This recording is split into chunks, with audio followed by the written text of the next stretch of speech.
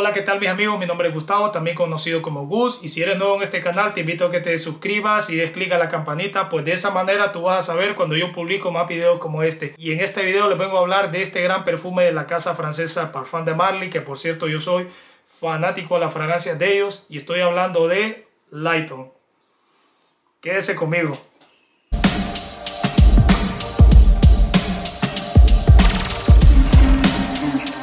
Y bueno mis amigos, en este video voy a hablar de esta gran fragancia de la casa francesa que es Parfum de Marley. Esta casa se dedica a hacer nada más lo que son perfumes de nicho, basados en un estilo clásico y contemporáneo a la misma vez. Eh, como pueden darse cuenta, esta es su botellita, una botellita de 4.5, muy bonita, muy elegante y bastante pesada. Debajo de aquí se encuentra lo que es su información y también se encuentra lo que es el barcode. Esta es su tapa, que por cierto es una tapa bastante, pero bastante pesada. Con esto fácilmente le puede romper la cabeza a cualquiera. Tengan mucho cuidado con esto. En sí la botella pesa bastante y más con esta tapa pesa mucho más todavía. En cuanto a su aroma, cuando tú la atomizas se siente mucho lo que es esa nota de manzana, lavanda y a la vez vainilla. Algo muy importante que quería mencionar, si ustedes llegan a comprarse Lighton tienen que tener cuidado porque también está la otra que es Lighton Exclusive, lo voy a poner en la pantalla. Esta es una versión un poco más oscura, menos vestible, para nada versátil. No es que huela mal, huele súper delicioso, pero no a todo mundo le gusta. O sea que si estás buscando cumplidos o versatilidad, no existe en esa otra versión de, de Lighton. Así que tienen que tener mucho cuidado con eso. Lighton Exclusive básicamente cambia lo que es la parte de medio, lo que son las notas de corazón, dejando nada más lo que es la vainilla y la nota de Guayagu. Bueno, anyway, lo voy a poner ahí en la pantalla el nombre de la otra nota que, que básicamente son las únicas dos que quedan. Lighton Exclusive yo básicamente la encuentro un poquito como más formal, como lo mencioné más antes, es, un, es menos versátil Quizás sea un poquito más elegante que Lighton y siempre conserva ese ADN de Lighton, pero a mí personalmente no me gusta. No es que sea mala, no, de hecho no lo es, pero yo creo que Lighton sigue siendo mejor que Lighton Exclusive. En mi opinión personal, lo que sucede con Lighton Exclusive es que Lighton Exclusive yo la veo un poquito como más formal, más casual, como para ocasiones un poco más serias, vamos a decir así, como lo mencioné antes, no es tan versátil como esta. De hecho, puedo llegar a decir que es más refinada todavía que Lighton, la original. Pero con todo y eso, en mi opinión personal, Lighton sigue siendo mejor que Lighton Exclusive. Algo que me llamó la atención aquí en esta fragancia de Lighton es que cuando tú la sprayas por primera vez y no estás tan familiarizado con esto de la fragancia de nicho o con el mundo de, de los perfumes, lo primero que vas a decir es, oh, huele algo refrescante, algo dulce, pero en realidad lo que se siente aquí al principio es ese olor cítrico que desaparece en segundos. Y ese olor viene de parte de la manzana, que la manzana es la que juega el papel más importante al comienzo de la fragancia. Como lo mencioné más antes, aquí el papel más importante lo hace la vainilla y es una vainilla muy cálida y sexy. Cuando me refiero a sexy me estoy refiriendo a bomba de cumplidos. Esto genera cumplidos yo me recuerdo cuando yo, yo me compré un Dican hace mucho tiempo, creo que fue hace dos años. Yo la llevé para el trabajo, me la apliqué y hubieron varias personas que me preguntaron qué fragancia es la que yo llevaba puesta. De hecho, un compañero de trabajo me pidió que se la regalara, que por cierto fue un Dican que me compré por eBay, porque yo ya venía viendo en algunos blogging y en algunas reseñas que esta fragancia era muy buena y bueno, ya saben por el tema del hype. Y eso fue lo que me llevó a comprarme la botella completa, que no me arrepiento para nada. De hecho, cuando esta se me llega a terminar, no lo voy a pensar dos veces y me voy a comprar otra a pesar del precio.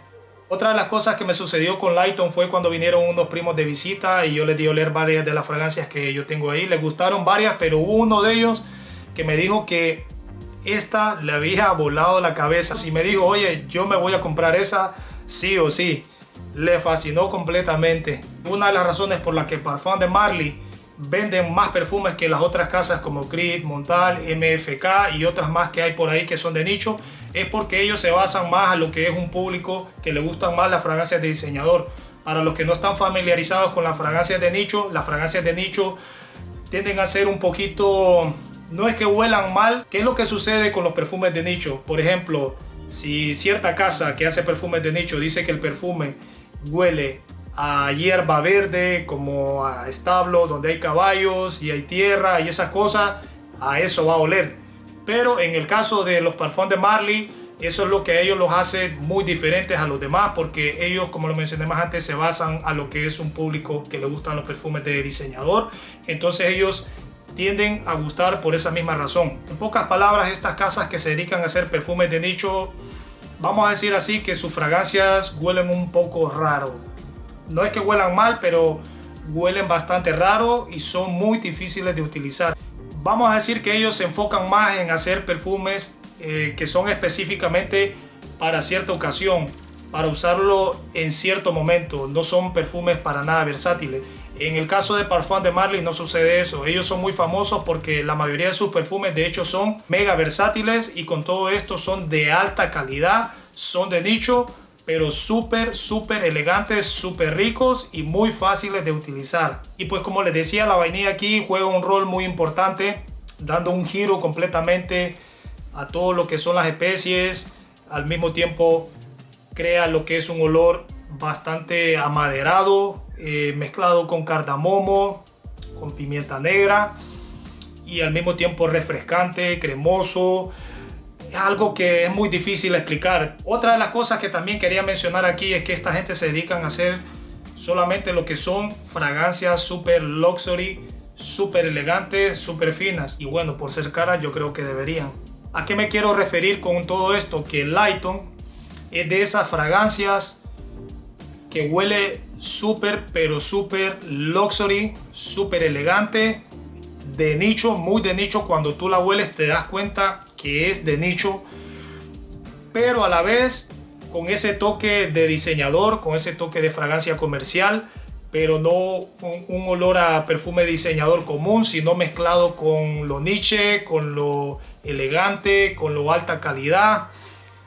Esta fragancia definitivamente es otro nivel. Yo sé que muchas personas están buscando versatilidad y a la misma vez algo que huela súper rico, súper elegante, algo que acapare atenciones y genere cumplidos. Y definitivamente Lighton lo es. Y por esa razón hay muchas personas que odian esta fragancia, pero habemos otras como yo que definitivamente morimos por esta fragancia. Entonces, ¿qué es Lighton? Niche de alta calidad, ingredientes de alta calidad y mezcla de alta calidad. En cuanto a rendimiento, 8 horas. Y en cuanto a su proyección, es moderada, dura alrededor de unas 2 horas. Y para finalizar este video termino con esto. ¿En qué están basadas las fragancias de esta casa Parfum de Marley? que son de nicho de alta calidad con cierta sensibilidad hacia lo diseñador. Y bueno, eso es todo mis amigos. Gracias por ver este video. Espero que estén bien y nos vemos en el próximo video. Bye.